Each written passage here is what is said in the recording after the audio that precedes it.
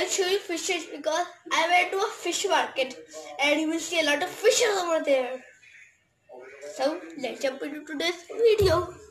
Okay guys, you can see there are different sizes fishes over here and different kinds. Okay guys, you know one thing, fish is one of the best foods God has ever provided us because fish is filled with omega 3 fatty acids which are very important for your health, brain and heart. Okay guys, so this uncle was giving us fishes. Guys, some people ask, which are the best fishes and healthiest to eat? The answer mackerel, sardines, rainbow trout, perch and tuna.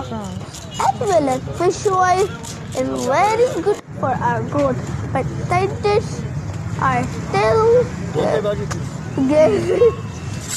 getting more information about it. So yeah, guys, this uncle was giving us fishes and he was cleaning the fishes and giving it to us. I was feeling bored then because it took like, I think about three hours to do it. guys, now I think, yeah, guys, now my mom was making fish curry for me because it's my favorite. Guys, now we will show you some parts. Guys, now put in the oil like this. So, and now I'll put the last and not the least fishing. Fishy, fishy, fishy.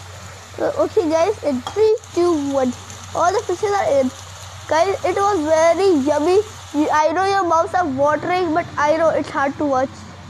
Guys, the fish curry was very tasty. And if you like my video, you should like it. And you know what to do. Like, subscribe, and comment. That is cool. Bye.